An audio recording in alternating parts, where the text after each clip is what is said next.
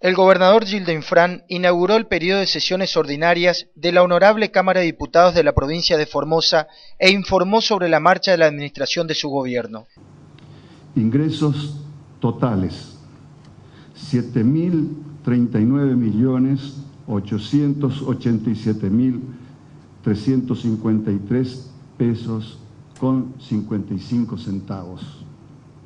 Ingresos corrientes, 6.353 millones 219 176 con 66 centavos.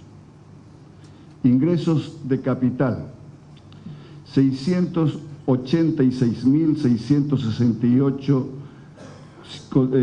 686 millones 668 mil 176 con 89 centavos. Menos erogaciones totales, 7.020 millones 559 mil 482 pesos con 48 centavos.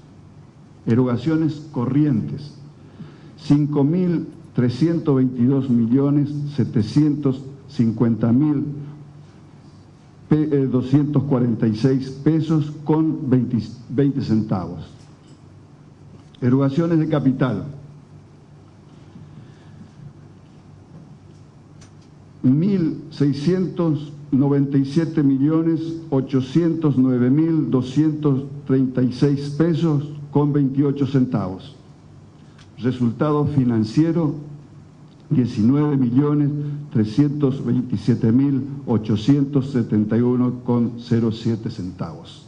En su mensaje al pueblo de Formosa, el primer mandatario provincial en principio se refirió a la crisis internacional y cómo la teoría económica más ortodoxa está dejando desocupación, eliminando gastos en áreas sensibles como la salud y la educación.